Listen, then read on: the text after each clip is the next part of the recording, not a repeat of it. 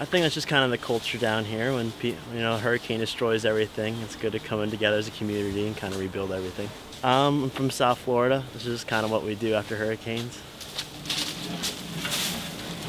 I really have only been in Miami for two years. It's like kind of my home. I really consider it my home more than like back up north. So it just like really meant a lot to me to like come out and like support a lot of great stuff, like help a lot of people that I actually got really hurt during the hurricane.